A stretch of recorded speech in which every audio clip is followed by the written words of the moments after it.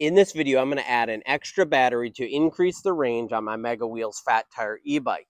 This battery can be easily connected using plug-and-play wiring, can be removed very easily. A link to all the products is above and also in the description. But before we get started on the install, please like and subscribe and let's get after it.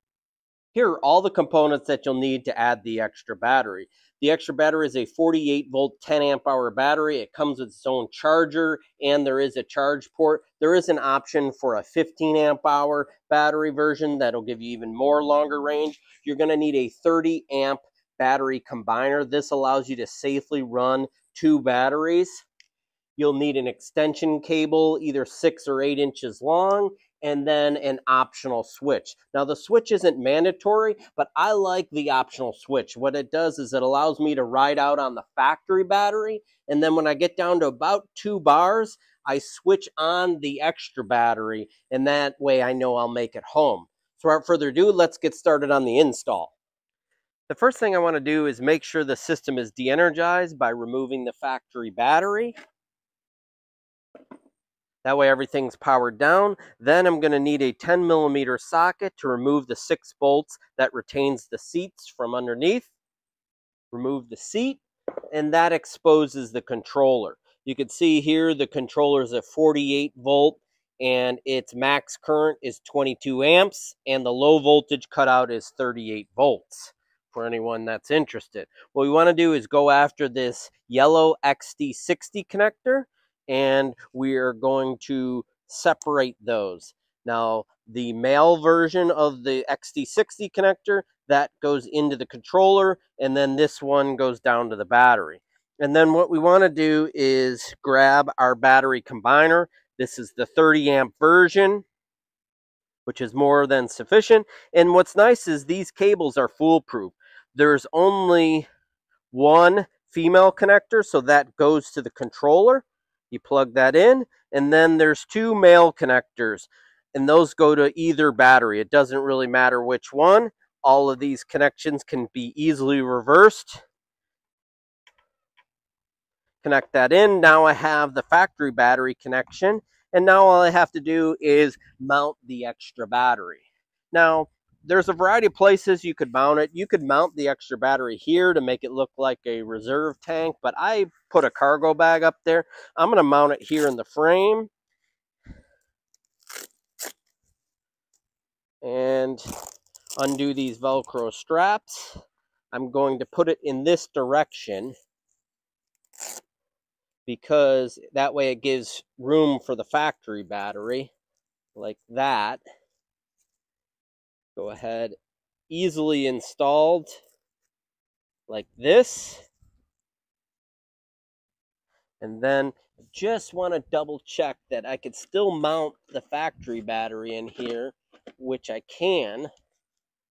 And it also fits this here like that. And then what I'm going to do is take this velcro strap. I could put it around here that's on the front or put it on the other side, which I think I'll do. Go around the frame like this. Run it through the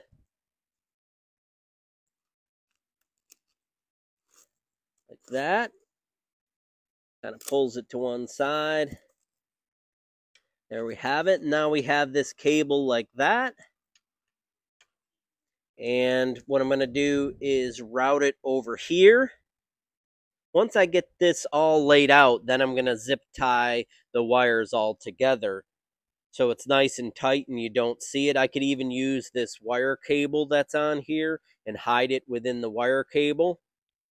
I like putting an inline switch. You don't need this, it's optional, but I like this because I can keep it off and then I ride out on the factory battery when it gets down to two bars, I turn on the extra battery and I know I can make it home. I'm going to go ahead and toggle that in the off position. Go ahead and install this switch. I'm going to put it so that I can reach down and easily uh, turn on that switch down here. Zip tie it to that area there. So I'm going to go ahead plug that in. This, if you don't want to use a switch, you can just use this nice 8 inch extension piece. Feed your wires in like this to the bottom of the controller box like that. But I want to make sure that switch is accessible like that. So probably going to zip tie this stuff like that. And now I'm going to go ahead and plug that in. And before we go any further, let's do a little test to make sure everything is working as expected. So let's go ahead and test everything before we put all the zip ties on and the seat back on. We're going to turn on the factory battery. See, I'm going to turn on the screen. This is in the off position. So pedal assist mode 5, we're up to 30 miles per hour. All right, that's good. What I'm going to do is I'm going to shut off the factory battery. You're going to see the screen turns off. I'm going to turn on the extra battery and I'm going to turn on the screen again. You can see this. Go up to pedal assist mode 5. And you'll see it actually cruising along at about 34 miles per hour. So it's really putting out the amps there. Now that's with no load, so when there's load on, it really does about 30 miles per hour. So that is the extra battery with the factory battery off. Now let's go ahead and we can turn on the factory battery and you can see now both of the batteries are on. And you can see that it really gets up there about over 30 miles per hour top speed. All right, we validated everything works. I'm to zip tie these wires. I'm to get the seat back on and get it out there for a ride. On this long straightaway, we're to perform a speed test. We're to first go out on the factory battery, come back on the extra battery, then do one with both batteries. So let's get after this speed test. This is throttle only. We're at pedal assist mode 5. Here we go.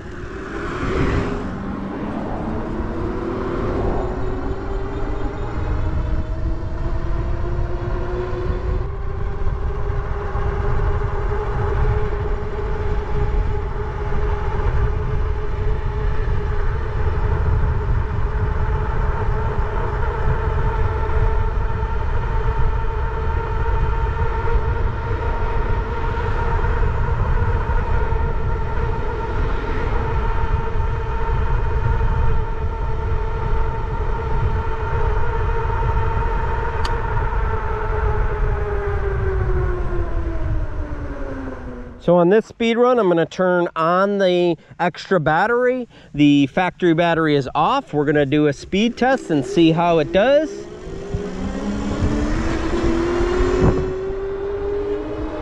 Not a real big change in acceleration, feels about the same.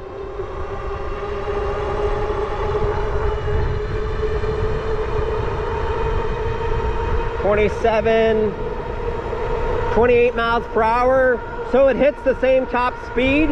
I'm gonna turn on the factory battery. No real change. Same top speed. It's going good. So I think that validates it.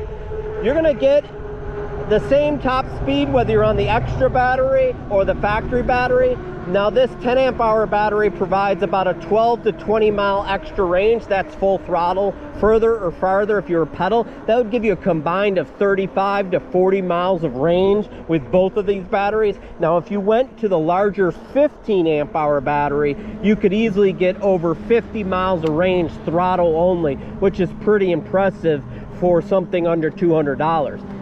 If you have any questions, please leave in the comments. I hope you like this video, subscribe to my channel, and thanks for watching.